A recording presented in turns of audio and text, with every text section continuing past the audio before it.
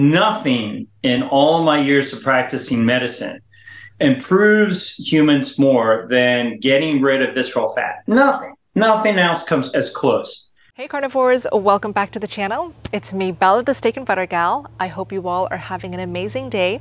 And as usual, how's your carnivore journey going? Your commented updates and struggles always give me a better idea of how I can better help you. Today, I have the honor to have you all meet Dr. Sean O'Mara. He is the doctor and expert for decreasing and melting visceral fat. The exact steps and routines to start melting that visceral fat, feel amazing, have more energy, be more productive, and live longer. I was so impressed and inspired by Dr. O'Mara's interview that I had to invite him to come visit my community, the Steak and Butter Gang. So if you also want to learn more, you all can meet him by joining my next Steak and Butter Gang challenge. Just a heads up for my upcoming challenge, the guest speakers that will be visiting and speaking is Dr. Sean O'Mara, Dr. Anthony Chaffee, Rebecca Heichman, Sarah Franklin, an amazing carnivore nutritional therapist practitioner, and Dr. Tony Hampton, who's a metabolic health expert and a family physician. If you think you'd be interested in joining my upcoming carnivore challenge, you can check out the URL shown on the screen or click the links down below in the description box to read more on the details and directly join us. Dr. O'Mara, welcome. Please do introduce yourself. Sure. So I am uh, Sean O'Mara. I'm an MD, physician, and researcher from Minneapolis, Minnesota. I want first Emily and Amy to also introduce themselves mostly to you. Emily, you first.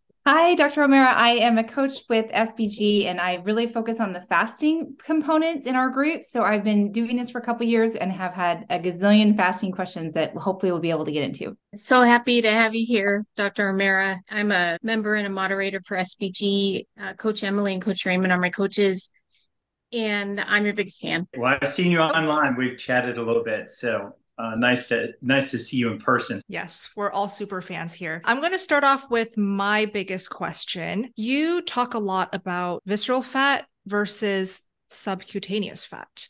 So, what is the difference between these two types of fats, and why is visceral fat more important to focus on, or maybe more dangerous than the other? You know, when it comes to research, you're looking at targets to try to identify what is the most relevant for your particular area of research. So, in my opinion, cholesterol is fraught with noise. And I don't hear people talking about the fact that really, when you pay attention to that particular metric, there's a lot of distraction about it. But one, your body makes it.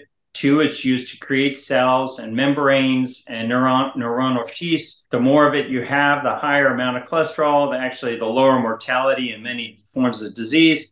And the lower, you know, your amount of LDL, the higher your mortality. So it's really filled with a lot of disease. It's got some good stuff to it and maybe some bad stuff. But what is all bad and you don't want is visceral fat. And nothing in all my years of practicing medicine improves humans more than getting rid of visceral fat. Nothing. Nothing else comes as close. You can think of visceral fat as this biological pump, this factory inside you, deep within your abdomen. It's constantly spewing out inflammatory substances. And so these inflammatory substances go throughout the body and wreak havoc. They just cause disease. So, to your question initially, it's really important to be educated about the different types of fat that are within the body. And when it comes to subcutaneous fat and visceral fat, I like to say it's the difference is like the difference between bricks and clouds. It's enormously different.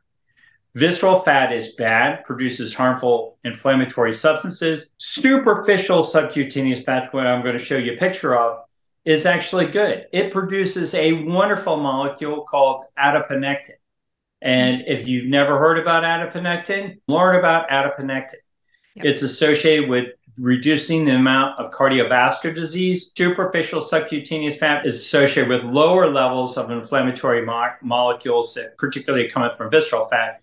And visceral fat is just the opposite, increases those inflammatory molecules. Let's answer your question. So behind me is this model. And this is a slice through a human being, sort of like a pizza slice. So you could think of a uh, a pizza going through your abdomen, kind of at the area of your belly button, and it mm-hmm. creates an image like this. on an MRI, fat shows up as white and muscle shows up as dark. So let me orient your audience. This is uh, our muscles in the back. You're laying on your back. This patient's going through a scanner. And up here are the abdominal muscles, the top of your abdomen. And these are your side muscles, your obliques. Right there is your vertebral body. And these two oblong stuff are your psoas muscles making up your core. Now we changed this image, adding some color to help differentiate between subcutaneous fat and visceral fat. So the subcutaneous fat is just underneath the skin and it is painted yellow in the image above. And just to add some, you know, differentiation be- between it and visceral fat, which is in red. Visceral fat is in the center part of your abdomen and you can't access it unless you did surgery. You can't get to it, it, you can't see it. It's hidden deep inside of you. I call it invisible obesity. Um, Carl Lanore from Superhuman Radio has a great term for it. He calls it radioactive fat.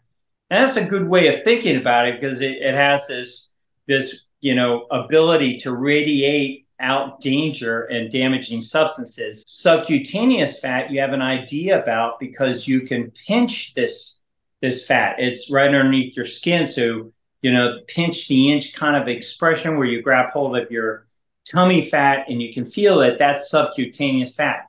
You'll never grab hold of visceral fat. That's deep inside of you. So anyway, I hope that explanation about the difference in terms of the biochemistry behind it is helpful. And also, very importantly, where it's located. I know you talk about all different kinds of modalities to tackle this, but what a carnivore diet and fasting, how does that affect the visceral fat? The production of visceral fat is uh, multifaceted, and there are a lot of combinations and uh, contributors to its formation, and also the formation of other forms of uh, adipocytes or adiposity or fat. So there's some, you know, I mentioned one good fat is superficial subcutaneous fat.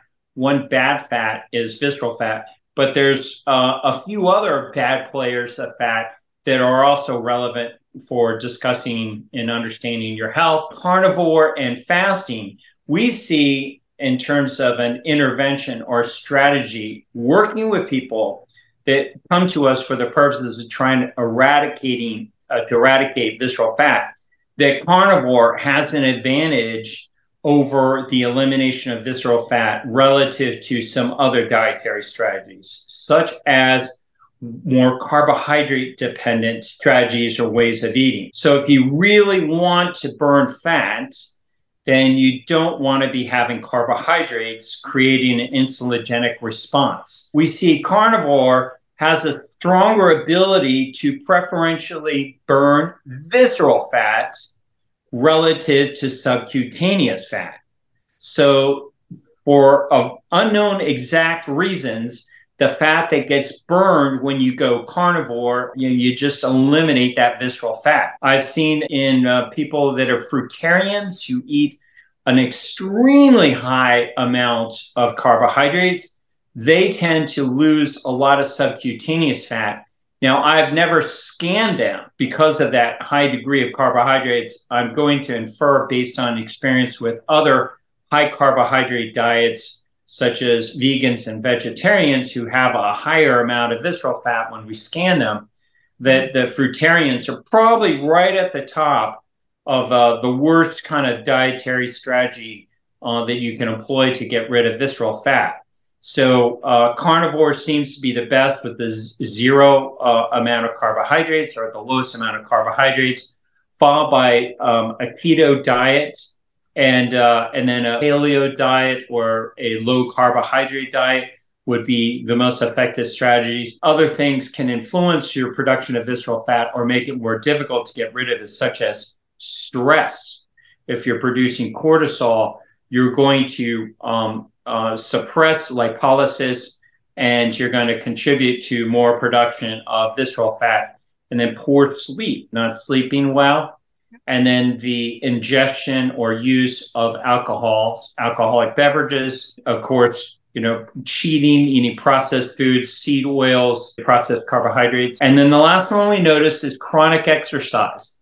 And the exact mechanism that chronic exercise has in making visceral fat more difficult to eliminate. It may have something to do with simply, Emily, the fact that our bodies want to hold on to fat if we're doing a lot of long distance or durational exercise. So when we eat carbohydrates, the body in rec- recognition or response to a lot of durational exercise is probably producing that visceral fat. Fasting accelerates uh, because of the lowering of insulin accelerates that fast burning and we see uh, first and foremostly an elimination of visceral fat more than sub-Q fat. I have some follow-ups on that. It's so interesting. So a long distance runner, though, they're going to present very uh, skinny. They're going to get lighter on the scale, right? And so, but what you're saying is they're actually getting fatter on the insides. You know, yeah. we take that win from the scale or from the even from the size, but we could be causing a real storm inside. Yeah. So a lot of people just following numbers um, don't know what those numbers really are. So if you step on a bathroom scale and either you've gained weight or, or lost weight, the question that you really need to be asking from a um, health optimizing perspective is what is the tissue that's actually changing? Am I gaining uh, muscle or am I gaining fat?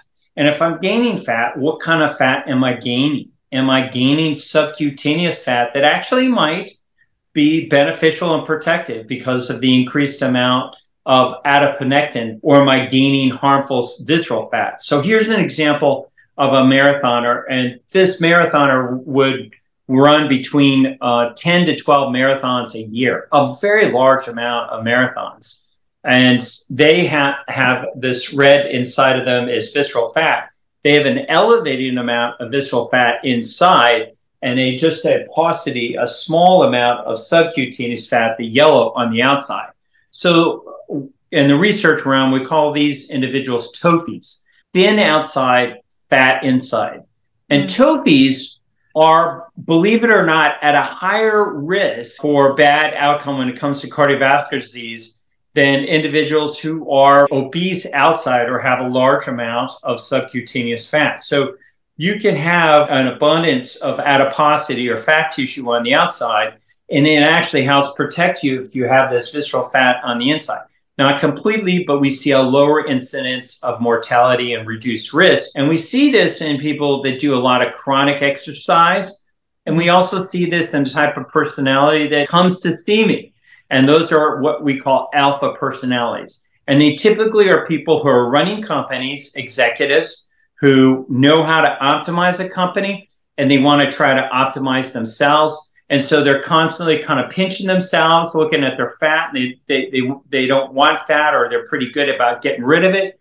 But when they show up, they're, they're uh, stressed out executives who are oftentimes just filled with visceral fat inside and uh, are stressed out running their companies. And that probably explains um, why they're, they're, they're TOFI. But I would say about 95% of my clients who show up to me are TOFI, but the majority of people that I scan in the hospital average are people that are are fat outside and fat inside. So I call them FOFIs, fat outside and fat inside. So TOFIs are not that common, but if you're a TOFI, you're at a disadvantage. And so if you're listening today and you think you're thin, and you're pinching yourself and you think, oh my gosh, I'm just a healthy runner and do all these marathons, you in fact probably have um, visceral fat inside and you may in fact be at a higher risk um, than an individual who's got a lot more palpable uh, subcutaneous fat outside their body and may not look as good as you do. There's some people who, uh, mostly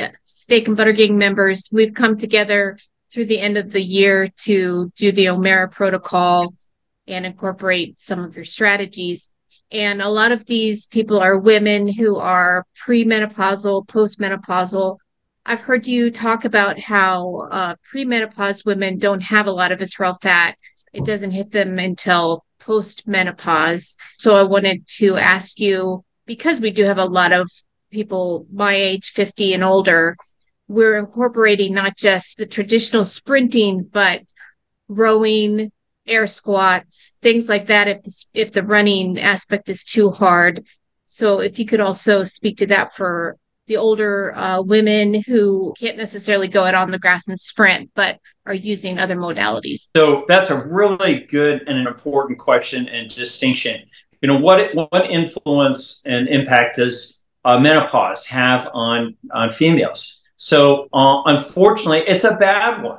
Things start falling apart, and uh, the gynecological explanation is, you know, your uh, female reproductive system is shutting down. But I also point out that women um, have a lower level of disease. And so their enormous role in child rearing relative to the male, who typically for our existence probably have had less importance in child rearing and probably more importance in just being a donor of DNA. Um, us males, we're expendable. We we don't have the benefit of uh, as much protection against disease that women have. Nature allows them to live this really pretty, you know, low incidence of disease up to about menopause. Males, we start accumulating visceral fats uh, in in our teenage years, and it it continues at a higher rate than uh, females all the way until we die, and we just keep accumulating this this visceral fat. But women have a lower incidence of visceral fat until menopause. And then game on. Watch out because your bodies will start producing visceral fat at a higher rate than even males at that point. And I, I hope to get the attention of uh, the female audience with this one. When that visceral fat kicks in, or menopause kicks in, that visceral fat starts being produced, not only do you increase your exposure to disease, but your body starts falling apart. One of the ways it manifests is your face changes. And so women have the ability to maintain pretty attractive feminine faces until menopause. Now, I don't know why nobody talks about this, but you can point to menopause wow. in your female relatives and say, this is where they started to become less attractive. It's not just getting old, it's the accumulation of visceral fat affecting the appearance of your face. So I work with my female clients to very aggressively attack visceral fat and prevent it from being formed so that they can preserve those useful faces. And I've been able to get my female clients and older clients to become models, you know, because there's so few women that are aware of visceral fat after the age of menopause Hmm. And women who, who become aware of visceral fat and work diligently to, to remove it, they have those lean faces uh, that they formerly had when they were teenagers. And in the absence of working to get rid of visceral fat, you get this uh, inflamed, puffy, uh, swollen face.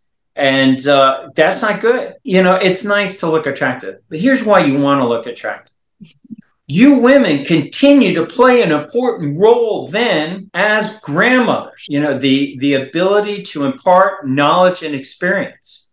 And you want to be in your, your grandchildren's lives and relevant. And if you're running an organization and you're an older lady, you want to look attractive, not because you want male suitors, but you want people to pay attention to you. And if you look attractive, it says to our other members of the species, pay attention to this one because they know how to live well. Mm-hmm. And if they know how to live well, they can impart that knowledge to you. So you'll increase your ability to uh, be a greater, more effective influencer. So, yes, it's nice to look attractive but what you really want to do from a species standpoint, a biological standpoint, is be a better influencer. Well, I started researching your protocol about three months ago because of your video talking about your face, showing your face and the changes, those four pictures that you have. Because when I lost my weight from carnivore, I know I started losing some of the inflammation that you talk about my face when I look in the mirror still freaks me out. Like you talk about, I, I can't remember the term that you used, but that was, that just sucked me right into all of your content. And then I just watched every single video and interview you had. Who I was when I looked in the mirror before and who I am now, I still don't know who I am when I look at my face in the mirror because it's so much different. So as I'm going to sauna, doing the sprinting, doing the fasting, I have noticed my face has changed even more. All the cellulite is going away. I've been this weight before. I had a ton of cellulite. The cellulite is is going away and also my skin to the touch is so much different. I have really noticed those two things in my face and my skin. Amy, that first of all, I'm so happy over um, the accomplishment that you had, and uh, I'm glad that you have achieved what you have achieved. That change in your face, maybe I'll just uh, take a quick moment to show you my own uh, facial change here, just so the sake of the audience. So this is this was my face before and my face over the past uh, you know 10 years how much it's changed and so what happened to me and i think you were referring about is i got healthy so quickly that my face hadn't caught up to how I was feeling. And I started to identify again because I felt like I was 20. I mean, really felt like. You know, people say that in line. Well, I went through this period where I would look in a mirror and I would see this old person in the mirror and I had cognitive dissonance. My body, my brain could not recognize that face. It was like a stranger's face and it, it, it produced a startle reflex that was so unsettling. It was anxiety evoking. It was just very, very alarming to look in the mirror and see this older person when I began to feel like I was 20 and it would startle me. So it's similar to how somebody that gets a face transplant has to go through counseling because there's a different looking face because it's so unsettling to them. Well, this happens to you once you really get optimally healthy. And the protocols that we put together for the National Science Foundation so dramatically improve blood flow throughout the body, allowing recovery of the disease cardiovascular system that it produces this enormous change in your face. You sound like you did a great job following that protocol. I'm super pleased that that happened to you. Are you on a carnivore diet currently, or do you have some carbs here and there? I am carnivore. The only foods that I eat are animal based products, and then I take uh, garnishes with fermented foods. So I use a lot of uh, animal, uh, fermented animal products. Uh, they're chiefly dairy.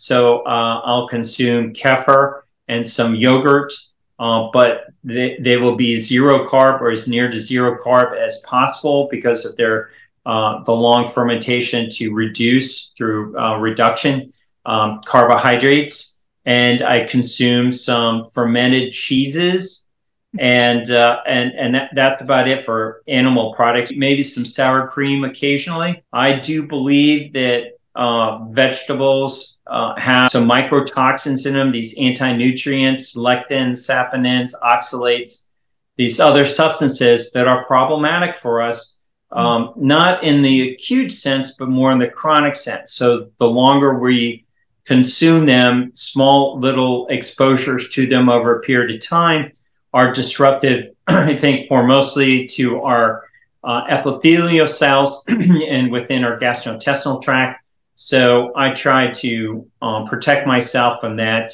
uh, that influence by only uh, eating the fermented foods. But I consume those in a in a in a fermented form for not their nutritional value as much as their microbial value. So I I differ in a lot of other carnivore physicians because um, I have as an objective not only to eliminate visceral fat, but at the same time to optimize my microbiome, my collection of organisms that live inside of my gastrointestinal tract. It's a very unusual strategy because we still are learning a lot about the microbiome. Fall in love with the microbiome, develop an interest in it, and start reading about it so you too can learn the various different strategies for trying to improve your microbiome. I just wanted to share one of my favorite places to shop for carnivore foods and household supplies. This is my monthly Thrive Market box. Thrive Market is an online membership-based grocery store and I personally love it and use it every single month because I get such amazing discounts and deals. I'm always impressed by their selection of brands to choose from, especially as a carnivore. A majority of the things that I get are household supplies because I have a golden retriever, Simba. He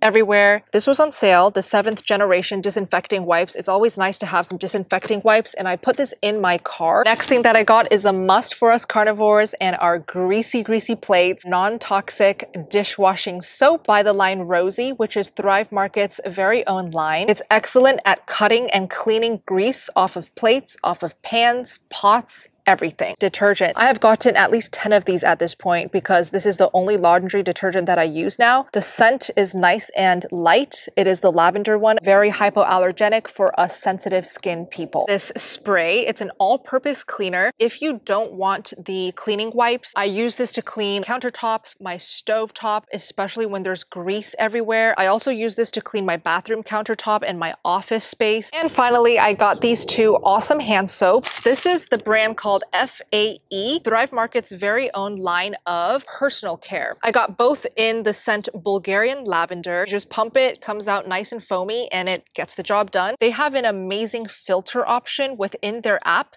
where you can filter to just the ketogenic diet. That's what I do every single time I want to check out what they have. They often add new products, brands to their website. You will always have the best savings. If you find any lower price or better discount somewhere else, they will will always match it for you. And you will always get free shipping on orders over $49. If you're interested in shopping from Thrive Market, you can get 30% off your first order plus a free gift worth up to $60. Just go to the URL shown on the screen, thrivemarket.com slash steak and butter gal. I've also linked it down below in the description box if you want a clickable link. Certain parts of your protocol have been absolutely foundational for my journey. And so I've been doing these ones for four or five years. Um, fasting was, you know, one of the big ones. And uh, took me a little bit later to find the carnivore approach. Um, but I was actually nervous to see you today because I was like, oh, he's going to see my face. No, but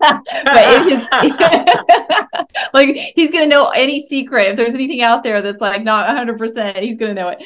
Uh, so, no, these things have worked together so beautifully. And I've always thought it's just been, well, there's a lack of inflammation. But when we say there's lack of inflammation, it's, I, it's like kind of like we're saying there's a lack of visceral fat, that that that was this thing that was inside that was causing this storm all throughout the body.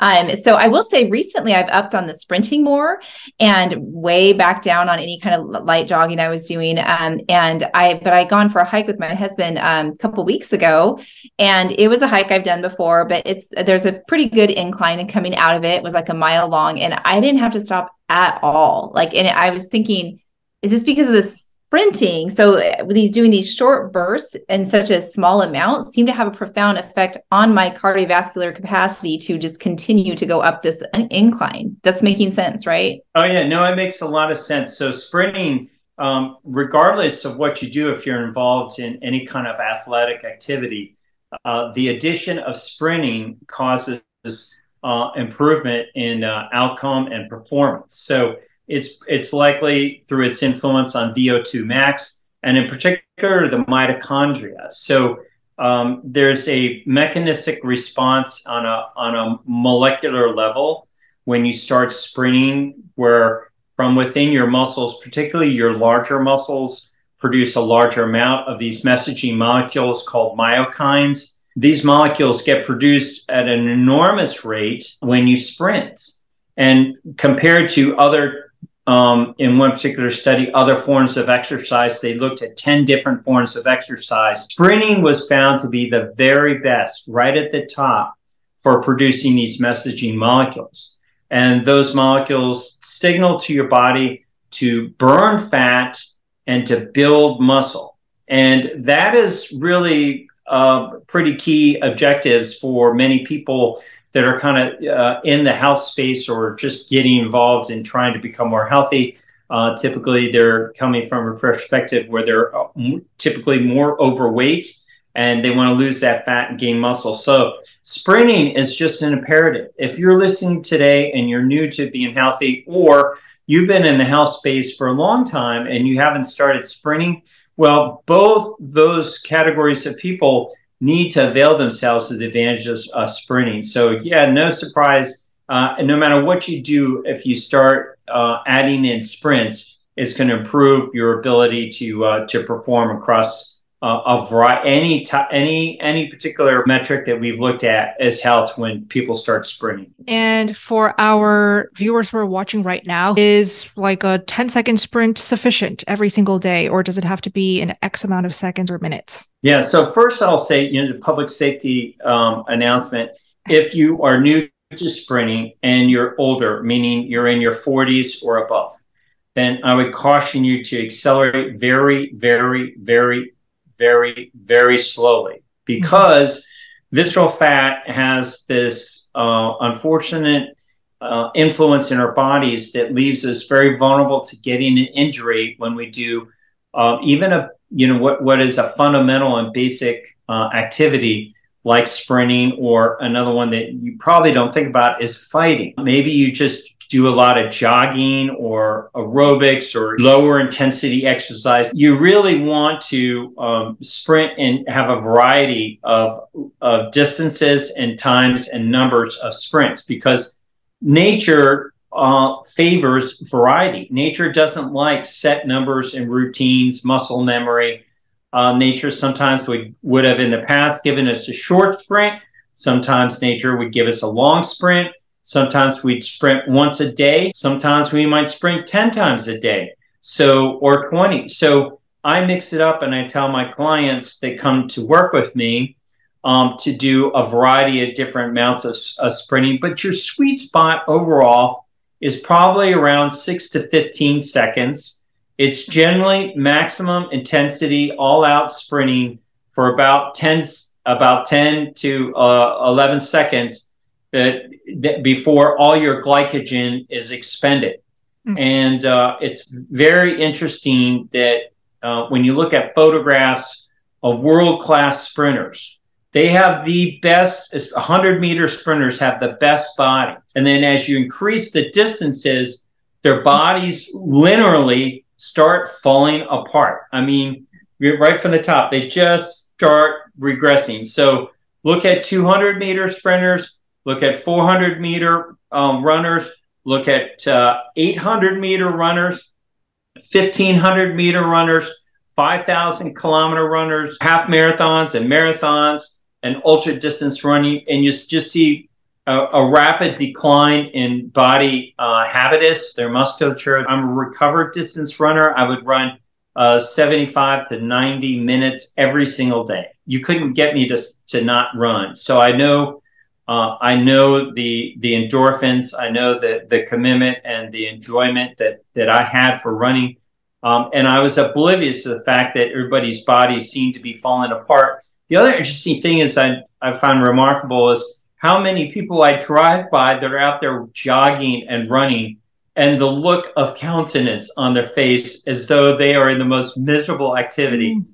But then when you see a sprinter, they have this game on face that's you know it's like it just looks so admirable and attractive. And uh, they just sprint for you know 10 seconds and they're done. So yeah it's uh, it's something you mix it up and uh, uh, just do, do, a variety of different types of sprints but accelerate very slowly until you get rid of that visceral fat so that you can accelerate more easily without the risk of a muscle strain or tendon pull or tear. I have some follow ups about fasting. We can kind of circle back to some of that. Um, so, and that, gosh, it just ties into everything because there's obviously huge microbiome benefits from that. But you're talking about a signaling perspective, and so what are some of the um, the most pronounced signaling benefits that happen in a fast? And we do a lot of variety of fast in our gang. So we do anywhere from a 36 to a 72 are kind of the times that that we focus on and we like to do kind of the rolling fast. Um, but definitely wanted to hear your perspective and how this plays into everything as a lifestyle hack. Yeah. So um, the the benefit to the microbiome is enormous when we start fasting. And i think first and foremostly is because um, our body is finally getting uh, getting a rest from the feeding you know that we are otherwise uh, too often or even incessantly doing. I, I, came from an existence prior to when um, I uh, decided to become healthy, where I was just constantly, excuse me, snacking on food. And I think that is the case with a lot of a lot of people, especially in the United States and, and westernized countries, we're just constantly putting food into our stomach. And so when we fast, we give our bodies an ability to uh, to reset and recover. And there's a biological state called autophagy, where the cells within the body start to clean up cellular debris and the waste products that are produced just from living, eating, and going about our lives that uh, we unfortunately start to accumulate to our body's um, biological detriment. And so it's through autophagy that that, that harmful uh, cellular debris is, is cleaned up. And the highest amount of autophagy really, while it's linear, typically doesn't really kick in until about 72 hours. So I um, try to fast uh, well, I do. I fast a minimum of 72 hours um, uh, every single week. So at least once once a week, I'm fasting for 72 hours straight, and then about uh, once a month. So every uh, fourth fast uh, will be a 96 hour fast, so that I get that uh, extended fast. So um, I actually think that that is probably more ancestrally aligned with um, our species, how we lived. Uh, I just do not see a place where we would have been having the ability to to eat abundantly all the time. Uh, we uh, we hunted uh, large animals, uh, in particular uh, the woolly mammoth, to complete extinction.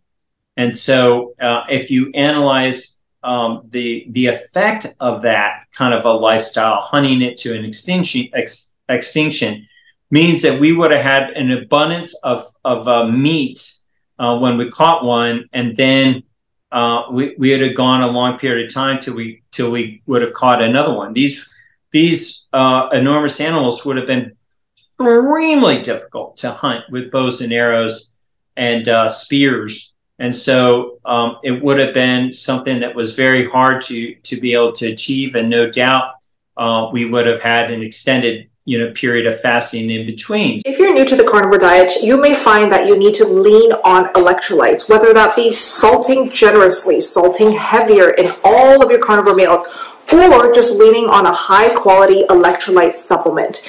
The brand that I recommend is called LMNT. This is what it looks like, and they have a flavor called Raw Unflavored in the teal colored box zero stevia, additives, flavorings, just the three electrolytes, sodium, potassium, and magnesium.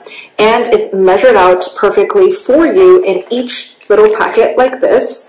These packets are super easy to throw in your work bag. You can just take it on the go.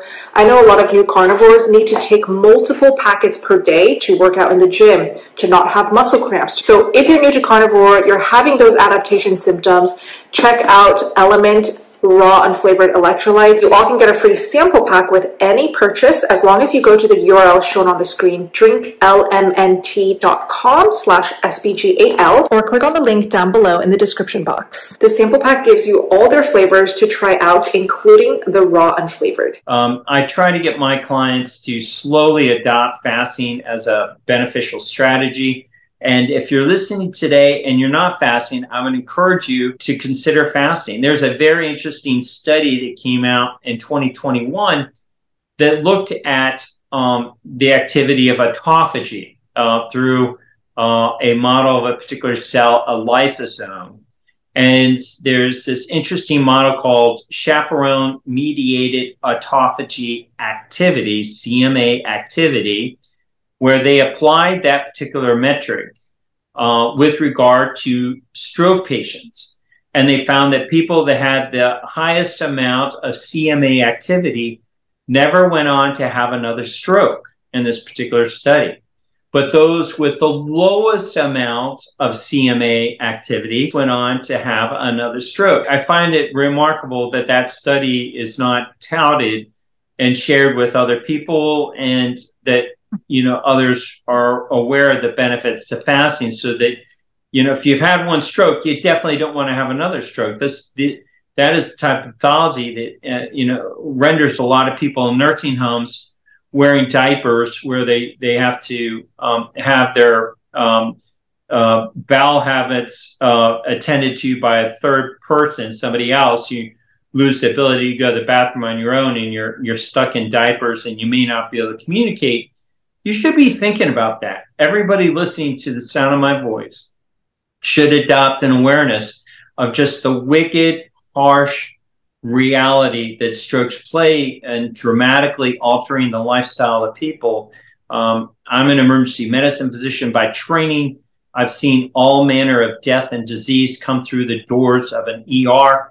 And I have decided, you know, as an emergency medicine physician, the one disease I do not want to have is a stroke. I do not want to have strokes. I don't want to end up in that. I could, I could, you know, I wouldn't enjoy it. I could get cancer. I could die, you know, get a heart attack. Uh, I could uh, trauma. That that doesn't sound any fun at all. But at least um, I, most cases, I'm not going to be stuck in diapers where I can't talk or I can't understand speech, uh, or I'm relying upon other people to change my diapers. Um, I, I, I just don't want to do that. So I have a lifestyle that I live to secure myself um, the healthiest lifestyle that I can have. I benefit all along with this awesome life where I get to go. I basically feel like I'm back in my 20s instead of being in my 60s. And I get to go out and do awesome things that I formerly wasn't doing for the past um, 30 years. So it's it's it's an awesome thing to pursue um, optimizing your health. I will wrap up with this last question. So, because you will be a guest speaker in our community, yeah, we're definitely going to be doing your protocol together as a group. I just wanted to ask you mentioned earlier in our conversation that you have executives come to you for help on how to up their game. I would be curious to know, and you don't have to like spill all the secrets, but like a mm-hmm. general overview of what you tell these people. Well, it's an interesting, you know, topic to talk about to answer that question. A lot of people like, why do you work with executives, not regular people? Well, we worked with average people, you know, for the National Science Foundation. But the problem we had, and we worked with thousands of them, was they um, they wouldn't follow our protocol. So you know, we couldn't get them to stop eating pizza and drinking beer. And when we occasionally would have a business executive come in, they would. And so we analyzed as researchers huh, what is the difference? Why do the executives follow the protocol that we developed for the National Science Foundation uh, much more, with much greater discipline than average individuals? And the reason is, is that the executives have a, a vocation where they're applying key performance indicators, where they're always optimizing, trying to optimize their company. And so they have familiarity with applying metrics to make things work better.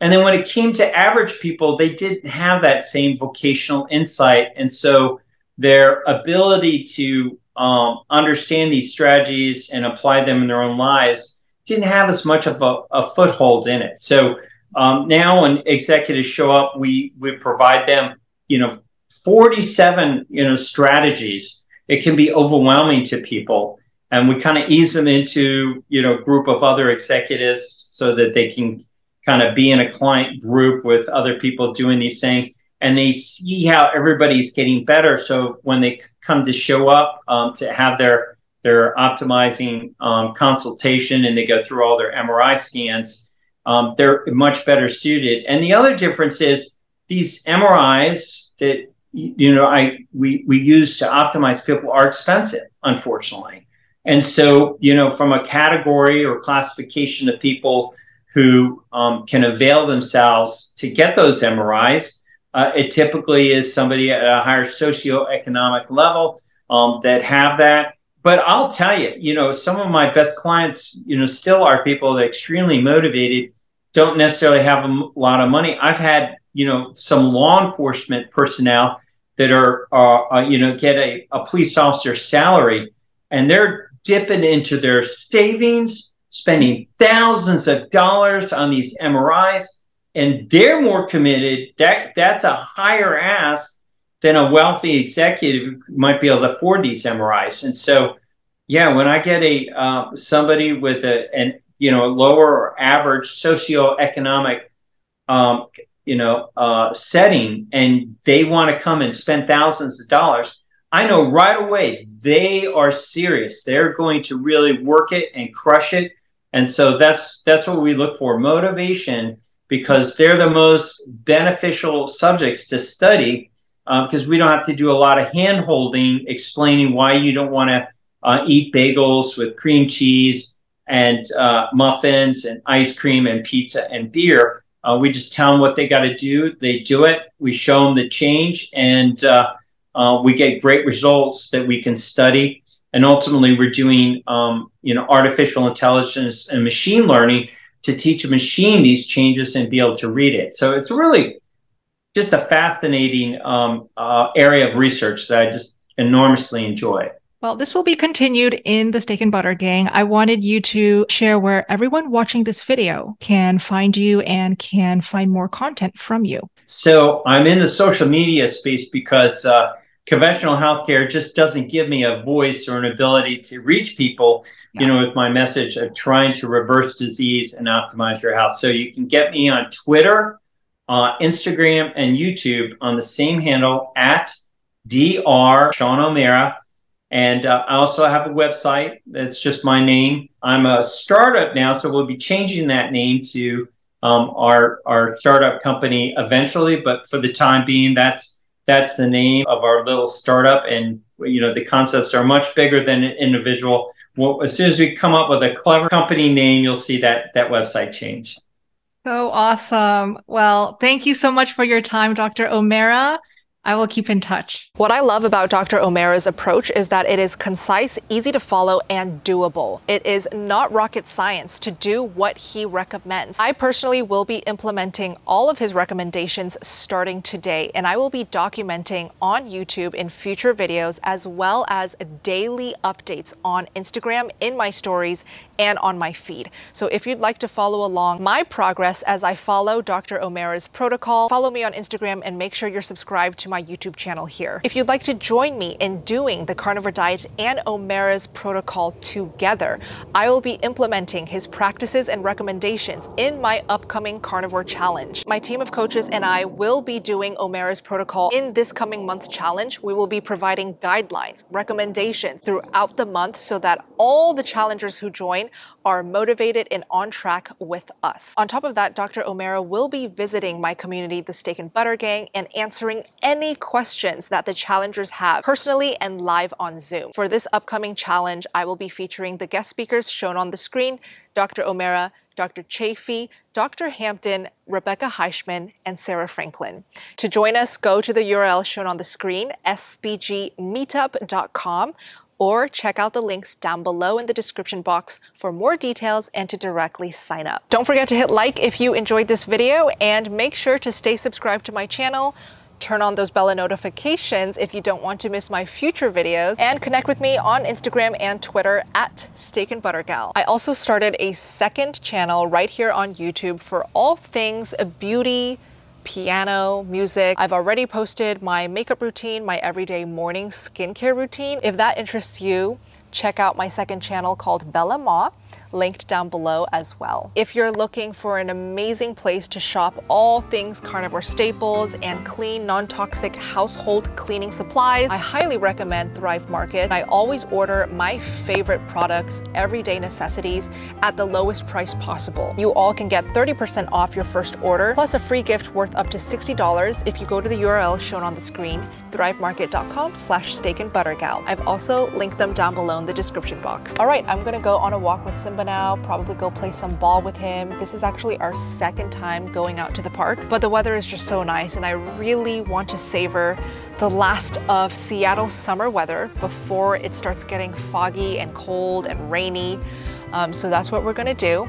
I hope you all enjoy the rest of your day and I will see you in my next video. SBG out.